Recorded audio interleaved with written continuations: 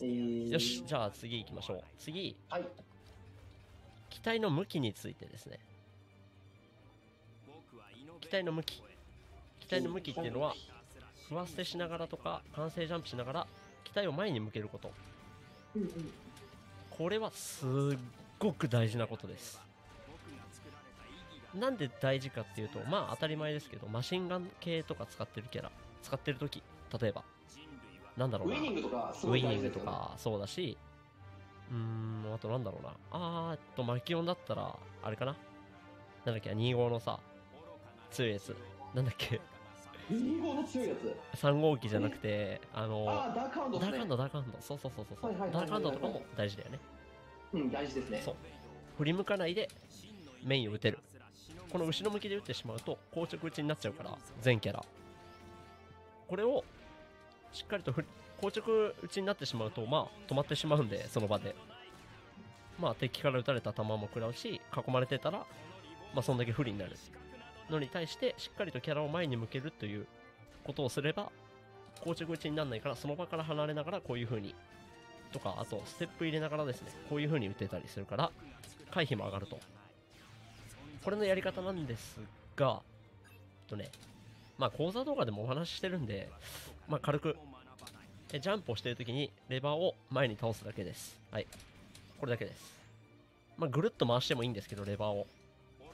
その下から一周ぐるって回して上でもいいんですがまあ自分はこう回す時もあればレバーをそのまま上に入れることもあります。だからどっち向きでもいいなと思ってる時はレバー上に入れてます。こうやって。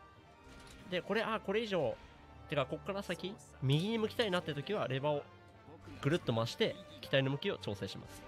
例えばマスターが今右にいたとしたらここからこういう風に降りてビームアメキャンとかで降りれるってことですね。ちょっとやってみます。こんな感じで降りれるってことですね。相手が右にいた場合は今みたいに機体を右に向けとけばその後のビームが背面打ちにならないので降りれるから機体の向きの調整っていうのはすごい大事だよっていう感じです。あこれアーカイブ残します。残します。はい。これは絶対にやらなきゃいけないことですね。なぜかというとさっきもお話しした通りこの背面打ちになってしまったら落下できないキャラがいるんですよ。リボとかはまだマシなんですけどこうやって振り向きメインサーブがあるから。ただ他のキャラだとこの背面メインが出ちゃうとアメキャンができなくなってしまうこともあるんですね。なんで着地間際とかにその機体を前に向けてこういう風にアメキャンするために機体を前に向けるっていうのはすごい大事なことなんでここだけはもう常に意識した方がいいですね。あこれレバー一周スイックを重ねうんそうですね。できますできます。これですね。はいこんな感じです。これはフワステの時も一緒です。フワステっていうのはステップしてジャンプを押すだけなんですけどこの時もこうやって機体を前に向ける。で後ろ向いててやべえなと思ったらこうやって前に向けてアメキャンで降りるとか。逃げてる時ってやっぱ絶対機体後ろに向いちゃうんでしっかりと逃げつつも前に向ける練習は絶対した方がいいですね。これは被弾かなり減ります。これで1個で。はい。わかりやすいですね。わかりやすいですかね。どうですか？なんかありました？普段でもまあこの辺は もうあれだよね夏レベルの中佐とか大佐ぐらいだと。まあみんなしやってることだよね。なんですかねあのこう声に出してこうんう説明はできないですけど、あの自分の中でこうすればいいっていうのは分かってますね。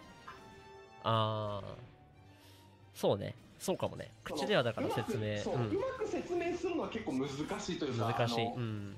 はい、だからすごい分かりやすいなと思いますね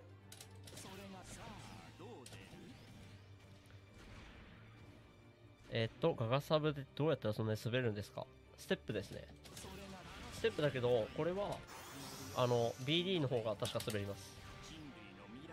これ今 BD ですね。めっちゃ滑ってません？滑ってますね。はい。あこれこれ BD, BD の方が滑ります。ただ別に誘導切ってないので。うんうん。うんそうですね。この車格は確か機体によってちょっと違いますよね。変わってきますね。そうそうそうそうそう。そうなんだよ。